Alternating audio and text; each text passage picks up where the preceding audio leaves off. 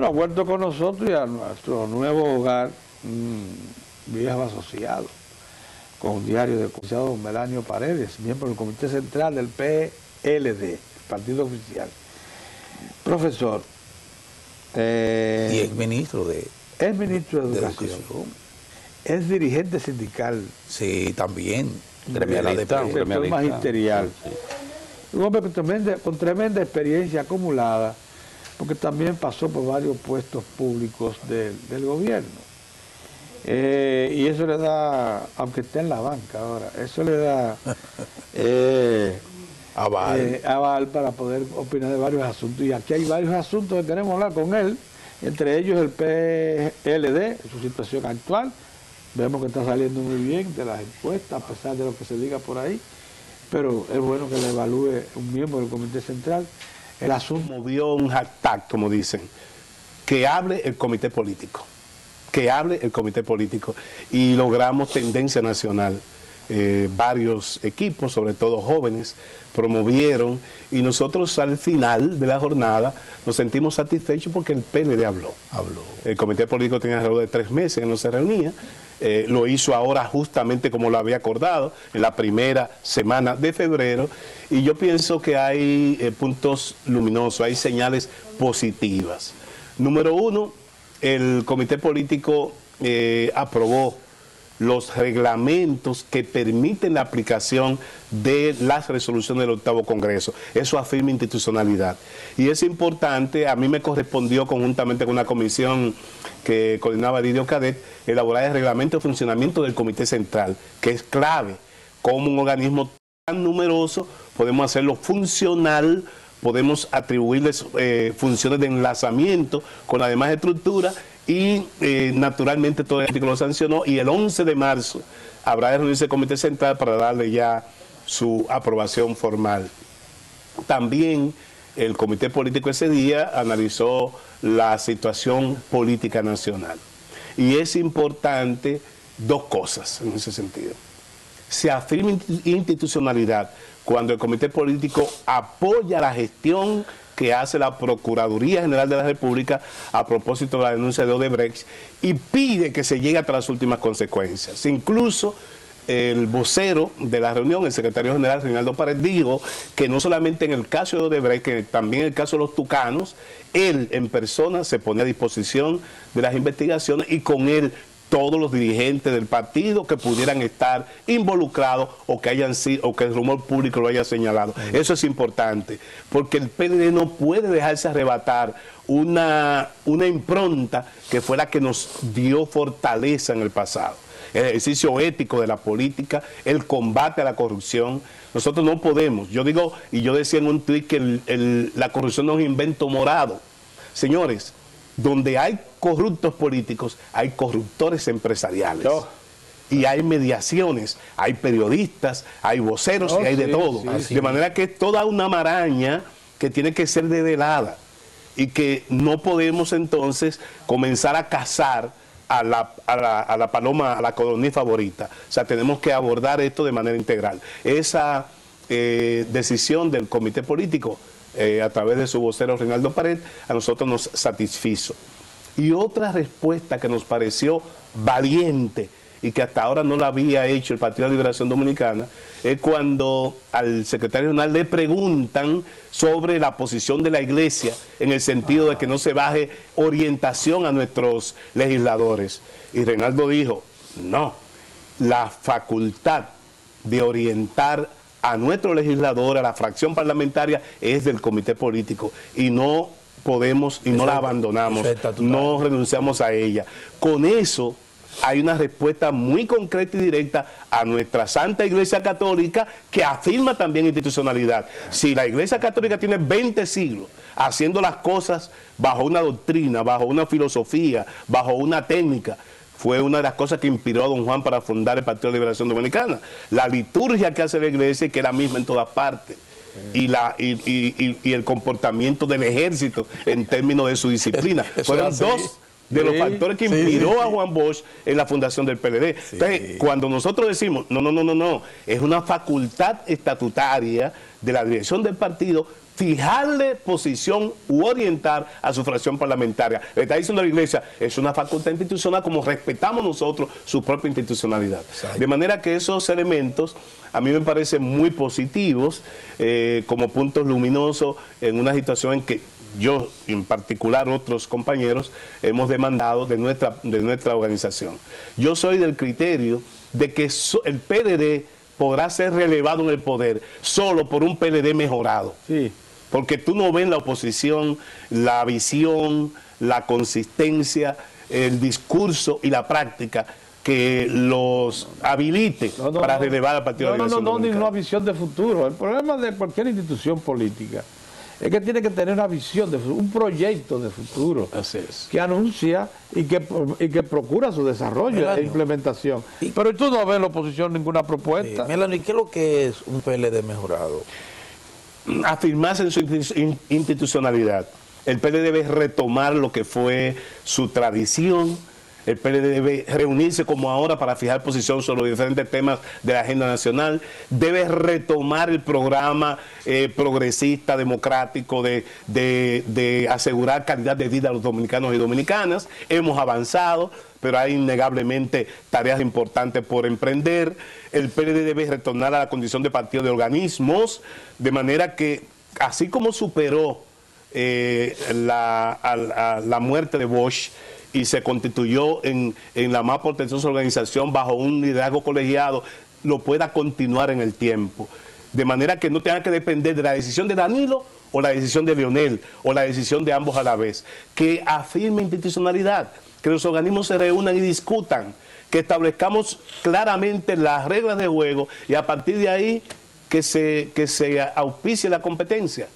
Tenemos suficiente eh, experiencia, formación, cuadros políticos para gobernar por mucho tiempo el país. Tú sabes, Melano, que eh, yo estaba esperando como lo esperaba el país, porque el PLD, quiera hacer que no, es la principal fuerza política de la nación y es, el partido que le da sustento político al gobierno dominicano. En consecuencia, todos tenemos que estar alerta, pendiente de lo que acontezca en esa agrupación partidaria.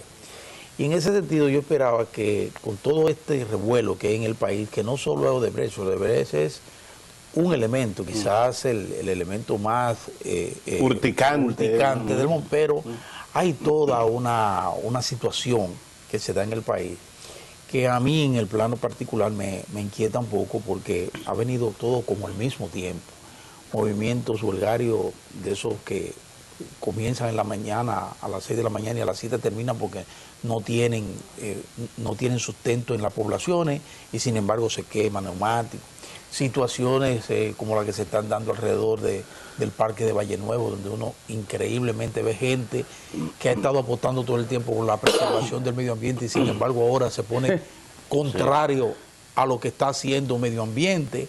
O sea, todas unas situaciones que se están dando, y además situaciones como las que se están dando en, el, con el mercado cambiario, donde hay una insistente campaña que sale esporádica, pero en forma muy sostenida, en el sentido de que hay problemas con la capacidad de la economía dominicana para generar divisas y de que no hay divisa en el país.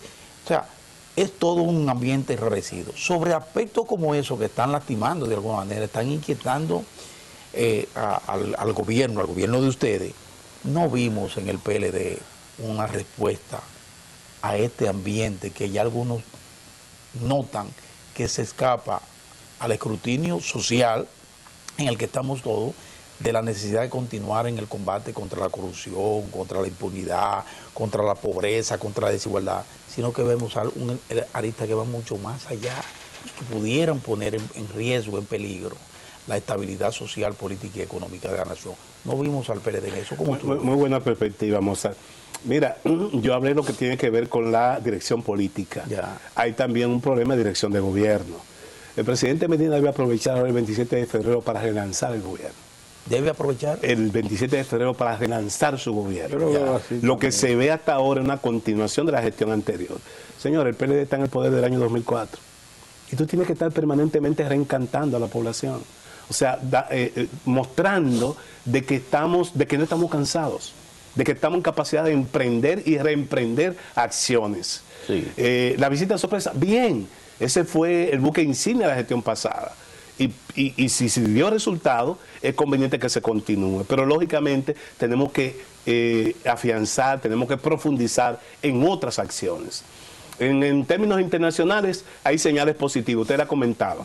La estabilización de Haití en términos de que asume un gobernante con un cierto apoyo eh, de un proceso que salió sin mayores eh, sobresaltos, es, es un indicativo positivo porque es nuestro socio obligado.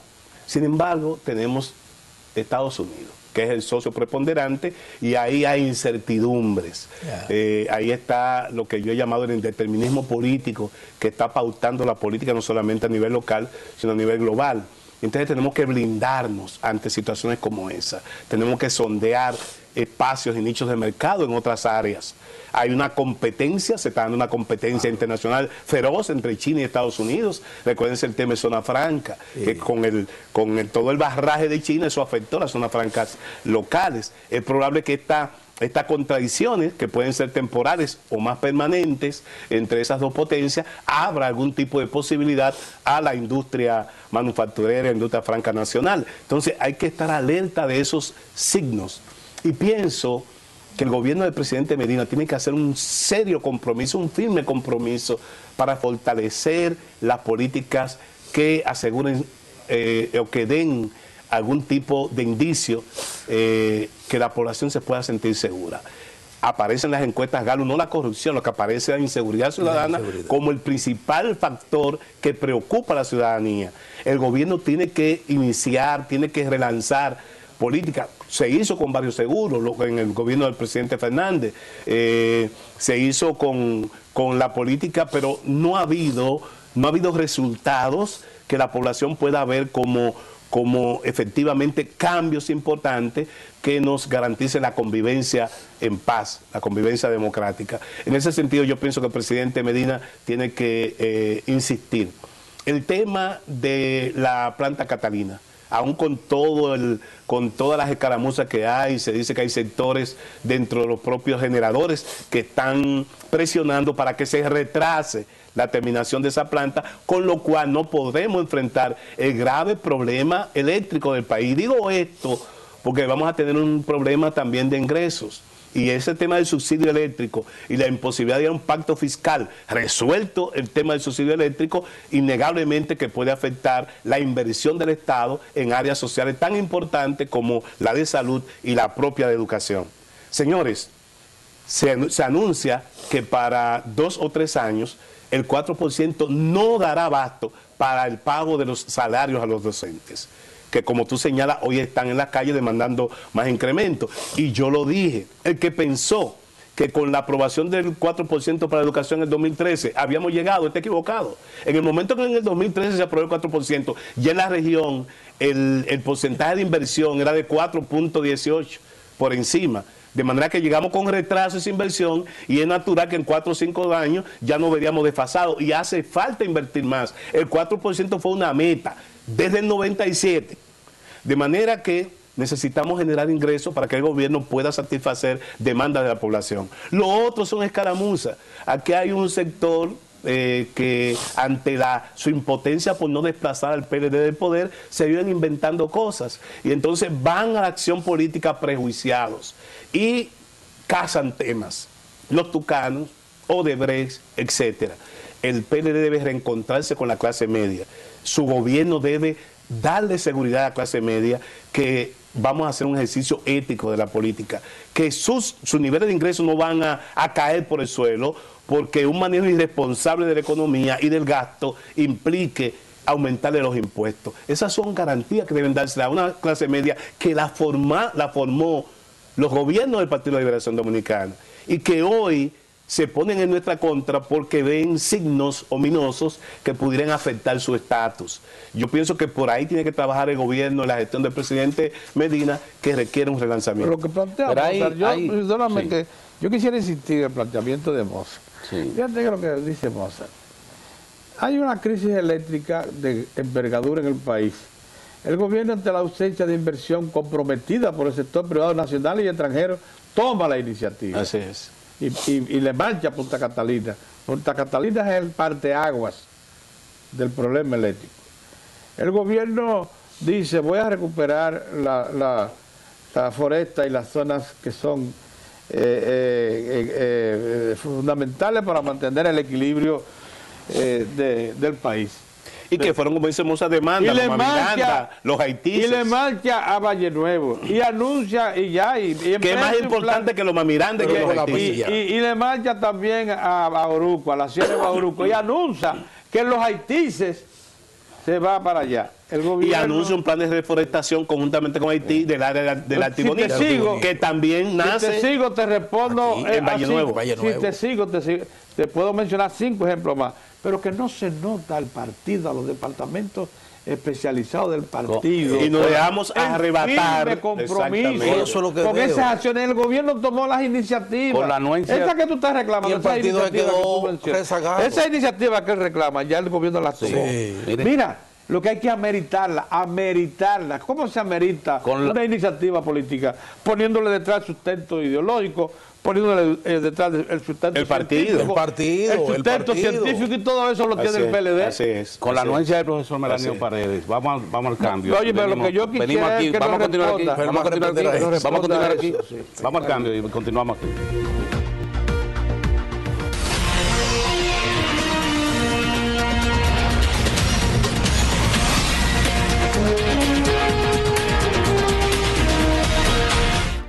Bueno, eh, cuando pasamos a los mensajes, nosotros le teníamos la interrogante puesta al dirigente del PLD, que por cierto eh, ha procurado siempre, Melanio, y eso hay que reconocerlo, mantener su independencia de criterio y de evaluación eh, con respecto a su partido. Eh, no es un recién llegado. Pero respetando la No fue ni siquiera un reingresado. Él ha estado ahí siempre desde que se fundó y por tanto se considera con autoridad para hablar y darle incluso utilidad al Comité Central, que es verdad que parece ser un órgano eh, elefantiásico sin capacidad de movimiento. Pero yo te preguntaba, eh, yo no siento, y lo digo con toda sinceridad, que los instrumentales científicos técnicos del PLD estén respaldando las acciones básicas de reforma y modernización del Estado que ejecuta el gobierno del PLD. Yo le puedo decir a ustedes que hace un par de meses hablé con el presidente Medina sobre esa situación. Ah, bueno. Y tenía pendiente una reunión también con el presidente Fernández.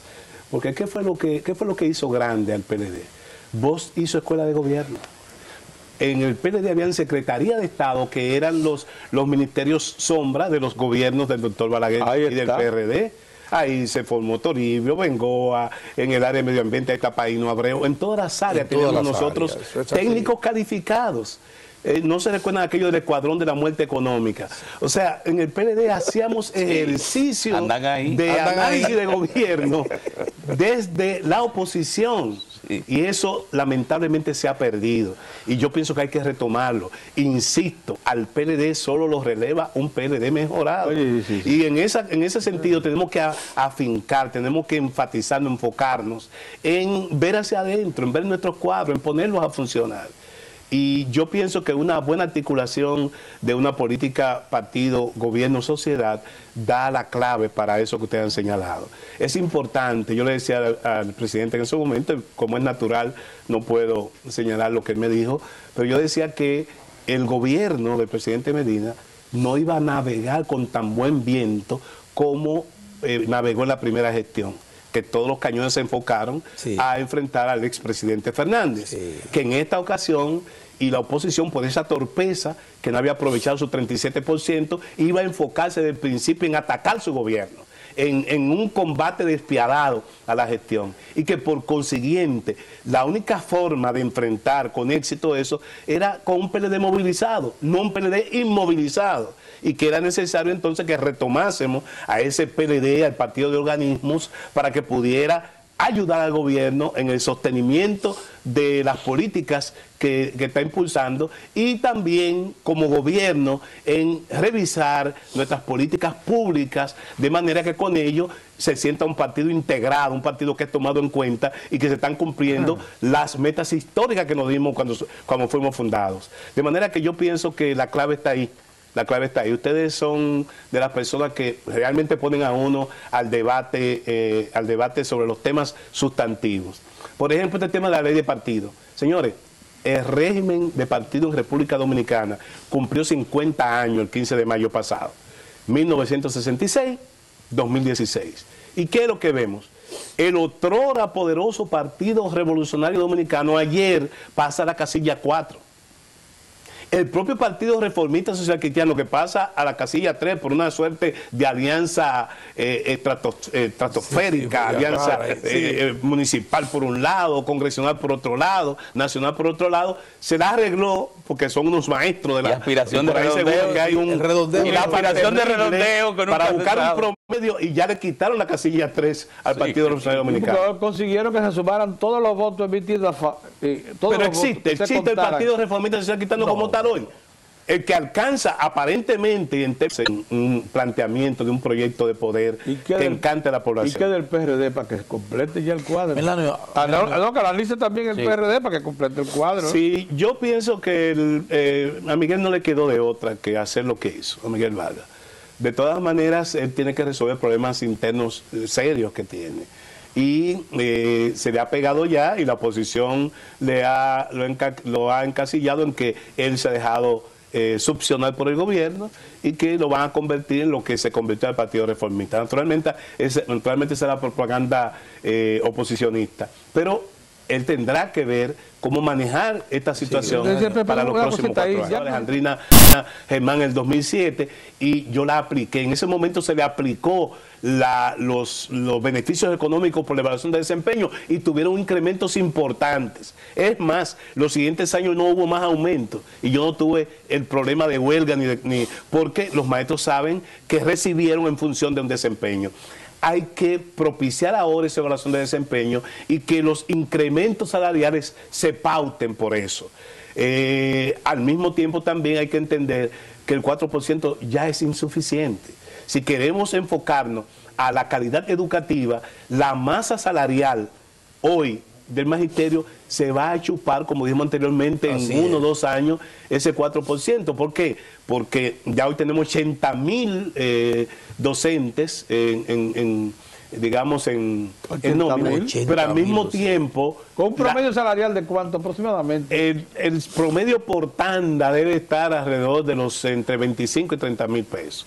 O sea, yo creo que es, es bueno los cuando se ganan eso. Cuando se le aplican los, los incrementos, los, los, plus, por los incentivos. Yo pienso que entonces tenemos que abocarnos seriamente a programar en el tiempo esos incrementos en función del desempeño y naturalmente sin descuidar que hay tareas fundamentales que propugnan por la calidad educativa que tienen que ser asumidas. Yo creo que no es, el gobierno del presidente Medina no se merece lo que le están haciendo. Yo no creo que estas manifestaciones públicas den al traste con mejorar la condición de maestro y la, y la mejoría de la educación. Y por consiguiente entiendo que lo que va es que se reúnan, que el ministro reciba al Comité Ejecutivo Nacional del ADP, donde están todos, porque hay un sector muy importante y muy activo dentro de ese sindicato, que que no eh, solamente oficialista. Hay que sentarlo y comprometerlo. de la oposición. Hay que sentarlo, comprometerlo a definir políticas que vayan en función también de la marcha de los objetivos que se persiguen en la educación y que logremos llevar la paz a las escuelas. No, no hay razón. Yo no reclamo con dignidad la mejoría de un sector eh, como el magisterial, dejando a los muchachos sin docencia. Es lo mismo que ocurre con la Universidad Autónoma de Santo Domingo. Es una barbaridad que afinquemos nuestras demandas, que demandemos derechos legítimos sobre la base de afectar y lesionar los derechos de terceros. Pero aquí hay un problema, volviendo a la, a la pregunta de Mozart, y es la facilidad con que se pierde una agenda. O sea, hay una agenda definida. Pero rápidamente lo extraño es que gente, en este caso dirigentes importantes, del partido de gobierno eh, no lleguen a, comprender la dimensión de, lo que ocurre en un momento, por ejemplo, ¿cuánto, 4%.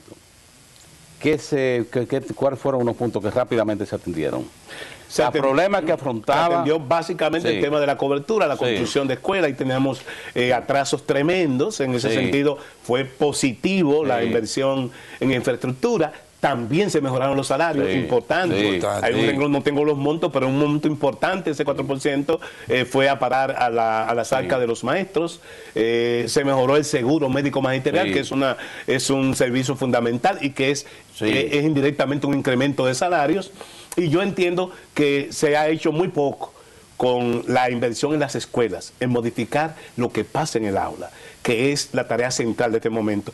Pero al mismo tiempo se discute un pacto educativo en abril del 2014, y yo soy parte, porque el presidente en el decreto me, incluyó como especialista del sector, discutimos la sociedad civil, los gremios, Educa, la propia ADP, las universidades, un pacto educativo. Y en ese pacto educativo está claramente delineado los propósitos hacia el 2030. Se tomó la de Estrategia Nacional de Desarrollo como referente. Y esa planificación, esas cuatro administraciones, para que no hubiera improvisación. Y ahí se establece claramente cómo discutir el tema salarial, el tema de la formación de los docentes, que otro elemento en el que hay que invertir suficientemente. Entonces, ¿por qué no apartamos del pacto?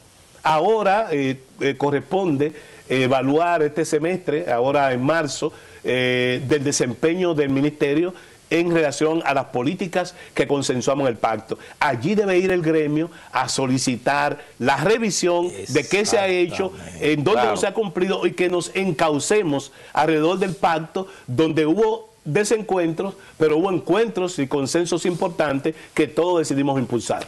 Y aplaudir lo que está ocurriendo, porque si usted me dice, tenemos una administración que no cumple, tenemos una administración que no acciona, la agenda. exactamente. La agenda de acuerdo, la agenda de acciones comunes, esa es la que hay que retomar. Y por ahí es todo, señores. La institucionalidad. Ahí está todo. Vos decías, los países fuertes, las instituciones son fuertes cuando hay reglas claras y esas reglas se respetan de manera escrupulosa. En este país vivimos improvisando. Así es. Mira, eh, dentro de esa misma línea de análisis y pensamiento, eh, es que vamos, es verdad que vamos a necesitar refuerzos extranjeros para determinados conocimientos, matemáticas, ciencias.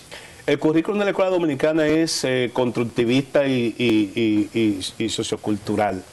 Desde ese punto de vista, las clases en las escuelas tienen, toman como referente, eh, digamos, eh, modelos, conceptualización, el conocimiento en términos globales, pero está vinculado también con el entorno, la realidad cultural, eh, social eh, de los alumnos y de el ámbito donde desarrolla su función la escuela. Por consiguiente, la, administración del aprendizaje en las aulas tiene que, tiene que ser por maestros dominicanos. Ahora, las escuelas de formación, las escuelas de pedagogía, tienen que ser reforzadas, tienen que ser retroalimentadas por profesores del área de matemáticas, de ciencias básicas, porque lamentablemente estamos muy rezagados en esas áreas. Hay que buscarlo. Ahí hay que buscar refuerzos, donde existan, traerlo y poblar. Yo fui en la universidad, recibí clase del profesor Anglada, que vino de la Guerra Civil Española, eh, profesor de cálculo, y hay profesores magníficos que vinieron de España y que eh, le dieron el profesor Rate, que dirigió la Escuela de Física de la UAS, fueron profesores que mejoraron, que elevaron la calidad del docente dominicano.